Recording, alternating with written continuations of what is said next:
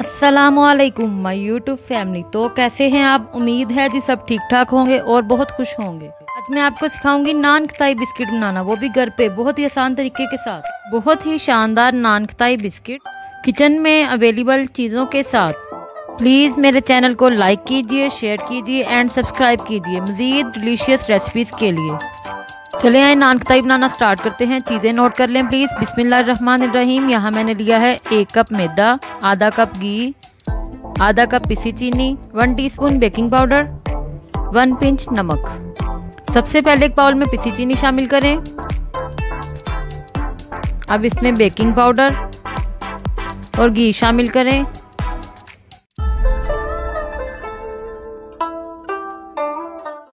अब इसमें नमक शामिल करें। तमाम चीज़ों को हाथ की मदद से अच्छे तरीके से मिक्स कर लें। इतनी देर मिक्स करें कि बिल्कुल क्रीमी शक्ल तैयार हो जाए। अच्छे तरीके से मिक्स कर लें, कोई गुठली या लम्ज ना रहे।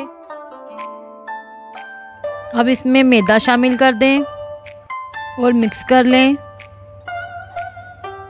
अच्छे तरीके से मिक्स करना है ताकि कोई भी गुठली ना रहे। इसकी डो तैयार कर लें। दोनों हाथों से अच्छे तरीके से मसल लें। नान खताई की डो को रखना नहीं है, इसकी फ़ौरन ही छोटी छोटी गोलियाँ बना लें और बेकिंग ट्रे पर रख लें। बेकिंग ट्रे में रखते वक्त इस बात का ख्याल ज़रूर रखें कि थोड़ा थोड़ा वक्फा ज़रूर रखें। नाइफ की उल्टी साइड की मदद से चकोर कट लगा दें, हल्का सा प्रेस करना है। 180 पे पाँच मिनट के लिए ओवन प्री हीट कर लें। एक अदद अंडा लें।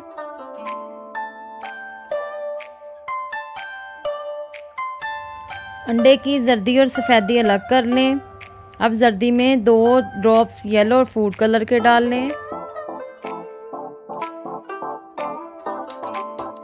जर्दी और कलर को ब्रश की मदद से अच्छे तरीके से मिक्स कर लें।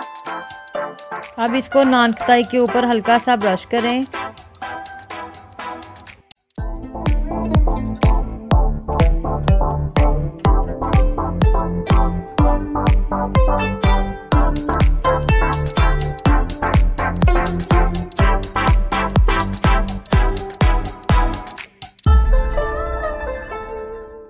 अब नानकताई बिस्किट को बेक कर लें 25 मिनट के लिए तकरीबन 180 डिग्री पे। ये लीजिए हमारे नानकताई बिस्किट बेक हो चुके हैं। आप इन्हें बेकिंग ट्रे से ठंडा करके निकालिए, नहीं तो ये टूट जाएँगे। यहाँ हमारे नानकताई बिस्किट ठंडे हो चुके हैं और ये सर्विंग के लिए बिल्कुल तैयार हैं।